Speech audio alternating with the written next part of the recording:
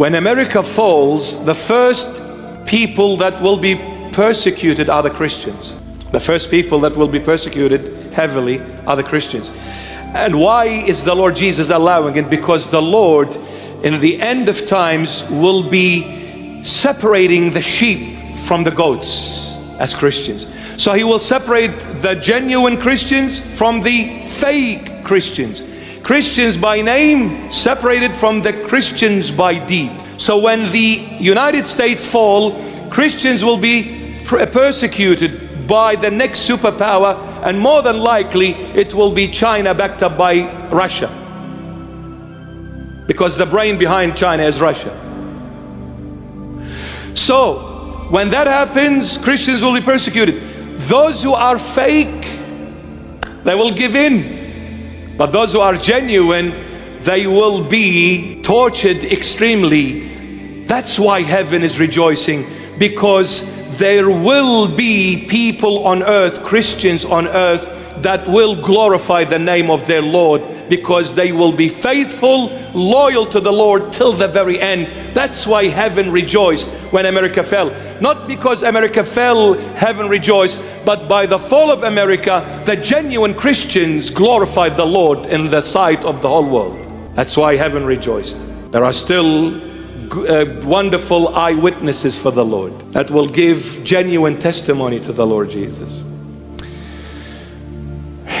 You know, this is why the Lord allows us to go through troublesome times and some rough seas. Why does He allow us to do that? Because He wants us to learn about ourselves. The most obscure, unknown person to you is you. You think you know yourself. No, you don't. Because when you go through some dark tunnels, you will be shocked on how much you lack on knowing yourself. So that's why the Lord allows those rough seas in order to teach us about ourselves. When we're comfortable, we say, Lord, I love you. When we're happy, we go to the church. We read the Holy Bible. We come, we go, we say, Jesus Christ is the only way. But when we get tested, when we go through trials, are we going to be the same? Or are we going to be shaken up?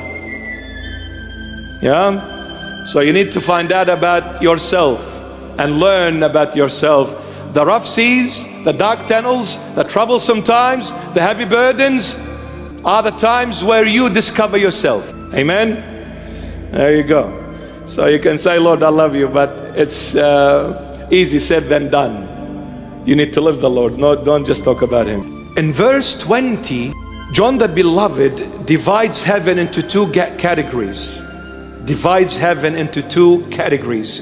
One is holy apostles, two prophets. He divides it into two categories holy apostles and prophets. If we look, and I always advise on this, when you read the Holy Bible, you need to focus on the way it's written on the order it's written. You need to really focus. Example, St. Paul, for example, he talks about the Lord. He says, Jesus Christ. Other times he says, Christ Jesus. If you are not familiar how the Holy Bible talks, you will miss the point and so pivotal because there is a huge difference by putting Jesus Christ, Jesus first, then Christ, or by putting Christ first, then Jesus. Total different meaning. So when you read, you need to see the order of the words, the names being mentioned, because it is the Holy Spirit, the author, who is God, the author of this book, inspiring certain people to write it, but the author is God Himself, the Holy Spirit. So when we look if we notice here, he didn't say, John the Beloved, uh, he didn't say apostles and holy men, apostles and saints. He said holy apostles. He said holy apostles and prophets. When we read the Holy Bible in other parts, you will notice prophets and apostles being mentioned. Prophets and apostles. When you see this kind of a chronological order, prophets and apostles being mentioned. Here he's referring to the prophets of the Old Testament when the word prophets precedes the word apostles. He's talking about the Old Testament prophets. However, in verse 20 here in Revelation 18, verse 20, he's putting holy apostles, then prophets. Prophets here in verse 20 are the prophets of the New Testament, not the Old Testament. Holy apostles and prophets are the prophets of the New Testament, not the Old. Another thing, when John the Beloved mentions holy apostles, well, when he mentioned the word holy, that means there are also unholy apostles, evil, false apostles. Since there are holy apostles, well, since he mentioned there is holy apostles, that meant also there is unholy apostles. Otherwise, why would he say holy apostles? He would have just said apostles and finish it off. But no, by putting the word holy before apostles, he's trying to tell us that there are apostles who are unholy, i.e., false apostles. Be careful, be careful of them. Now, the question is is there false apostles or unholy? Does God send false apostles? Well, I'll take you to the Old Testament, and there was this king of Israel called King Ahab. Now, King Ahab, God came and asked this question Who can seduce this king? Who can trap this king? Who can make this king fall into wrongdoings? God said, who can do that? Satan came along and said, I can. He said that to God, I can. What I'll do, I will bring my foul spirit and bestow it upon that king, and then I'll let his all prophets, his all prophets to prophesy wrongly until he starts doing wrong things and finally destroying himself. So the false apostles are influenced by Satan, and you'll find them all in the church the holy and the unholy. That's why those who attacked the Lord Jesus were people of the church, temple. The temple of the Old Testament is the church of the New Testament. What's the difference? So, who attacked the Lord Jesus? Not strangers. Those who went against him, those who sold him, those who said crucify him, they were his own people, the people of the temple, the Israelite, the worshippers of the true divine God. They ended up being the crucifiers of the true divine God. And today, when you speak the truth, who attacks you first? Christians, not strangers, Christians. They crucify you. Because whatever happened to your master will happen to you if you are walking in the footprints of the Lord Jesus. What do you do? This is life. I'll send him a fish burger and then I'll, I'll smack him across the head. Now, when a person is distant from God, foul spirit will accompany that person. When a person is distant from God, foul spirit will accompany that person. And then what happened to that person? He start working, going, coming, talking, doing things, thinking he is doing everything right, yet without knowing everything he does is wrong. Why? Because he's being influenced by foul spirits, and when Satan controls, that person becomes blind. No matter what they say or do, they won't even realize they're doing it wrong. Satan can blind anyone who is distant from Jesus Christ of Nazareth. Don't ever think you are smart enough for Satan. You're not. The moment you leave the Lord Jesus, Satan will devour that person and they won't even know what hit them. I'm going to show you. I'm going to show you. Even if that person is a pope, a patriarch, a cardinal, a bishop, a priest, or someone who is faithful. Doesn't matter. Don't think you're the, you're the pope. That's it. Um, Satan can't. No, no, no, no, no, no. He will he will turn you around and spin you around so fast you won't even, you'll lose track. Where your head is and where your feet are, you lose track. How can I show you? The only one who protects you from Satan is the Lord. It's God, Jesus Christ of Nazareth. Not your wealth, not your education, not your intelligence, intelligence. Nothing, nothing, nothing. It's the Lord. The other side is totally different. In the spiritual path, you cannot use your head. One day we're going to talk about spiritual life. In the spiritual path, this cannot function. Your intelligence cannot function. Why? Because it's something above and beyond your intellectual capacity. It's a spiritual path. The brain can only function in the tangible physical path. The moment you are out of the tangible realm, the brain will go numb and it will become dumb. Numb and dumb. Can't function. So when that person walks away from the Lord, Satan will influence that person and they won't even know what they're doing. They think they are doing the right thing, not realizing it is all wrong. Because distancing yourself from God will lead to spiritual blindness distancing one's self from God will lead to spiritual blindness. And today the world is spiritually blind. Doesn't matter you see physically. The physical sight is nothing compared to the spiritual sight. Without the spiritual sight, the physical one is blind even if it's opened. It's blind. That's why the world is acting absolute in blindness and they are saying we are geniuses. The medical field is so advanced, we can, we can modify viruses. The scientific field is so advanced, we can prove the existence of the universe. Give us another 13.5 billion years, we'll let you know. Because it's been over 13.5 billion since something exploded. So they need another 13.5 to find out whether they came from a gorilla or not. So the geniuses, they are now boast, boasting about their superpower weapons. So come, Mr. Genius, you've created the nuclear weapon, correct? Yes, I'm a genius. Wow. So your wisdom, your genius led you to total human destruction. What a genius. So one rocket in Australia, you can kiss it goodbye. So this is the intelligence of the human being. Oh, and in recent times, it's gradually coming on board and it's going to explode, and I pray not, the AI, artificial intelligence. What a bunch of losers. Miserable losers, they don't know any better. Blinded by Satan. Why? Because they denied God, who is Jesus Christ.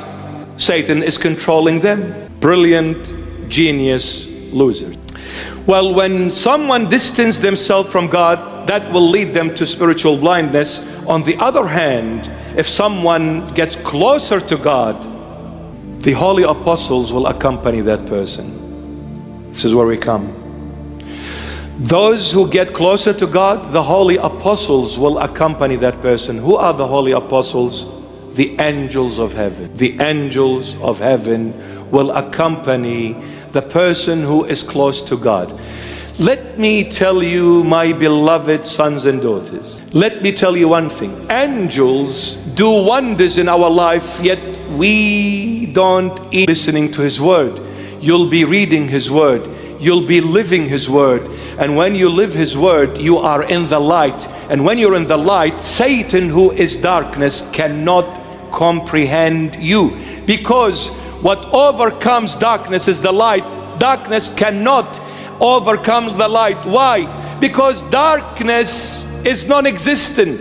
What scientists can measure is the light, not darkness, because God never created darkness, because darkness is the result of the absence of light. And that's why when Jesus Christ comes, who is the light of the world, as he said, when he comes, Satan cannot exist anymore because Satan is darkness. When the light shines forth, darkness can only do one thing disappear.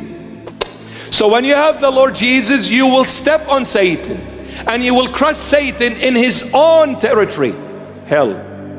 Be close to the Lord. So your spiritual eye is opened. And when your spiritual eye is opened, I can assure you, my beloved child, it is then and then only you'll understand this world is vanity. What are you chasing?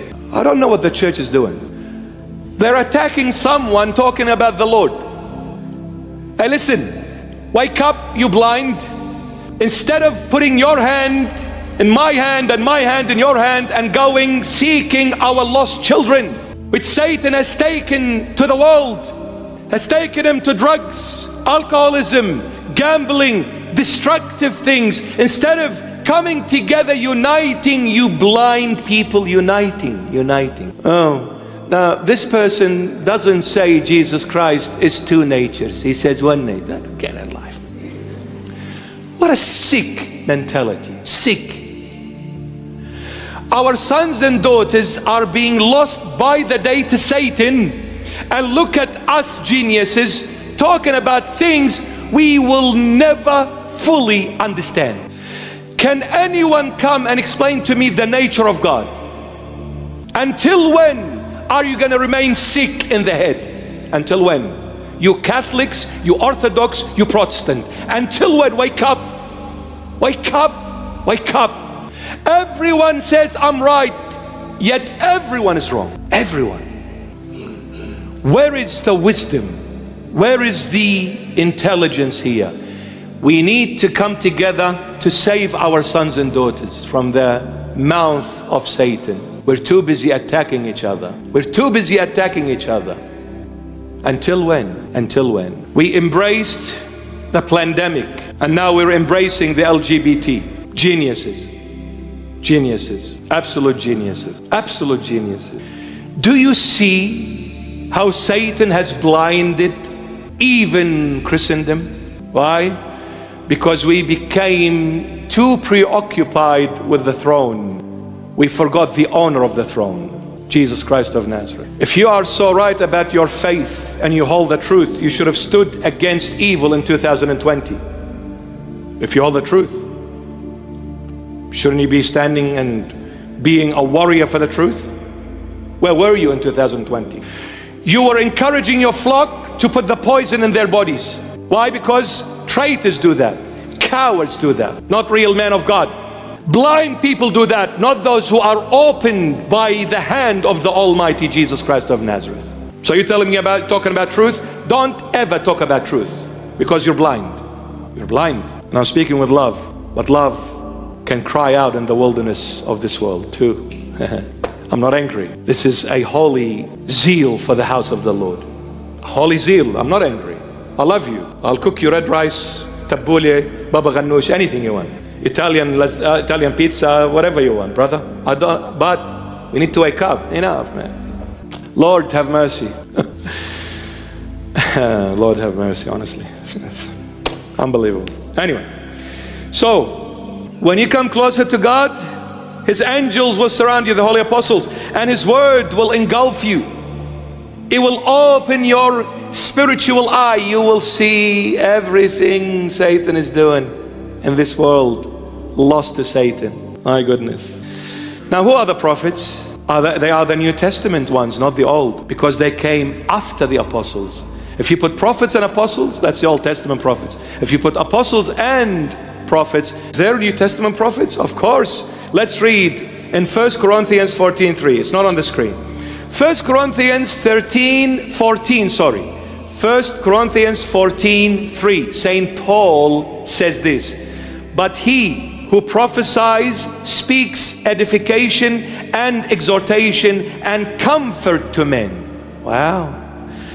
But he who prophesies, that's the New Testament, prophesies, speaks edification, exhortation, and comfort to men. He who prophesies in the New Testament does three things edification, one, exhortation, two, comfort to men, three. Let's look at this prophets of the New Testament speak edification. What is edification? Improving, instructing, and enlightenment of others. Improving others, instructing others, and enlightening other people's life. That's edification. What's exhortation? Strongly encouraging or trying to persuade people to do things of good nature.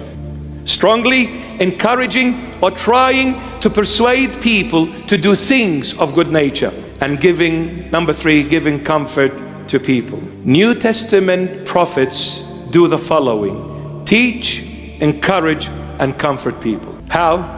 By preaching the word of the Lord Jesus to people.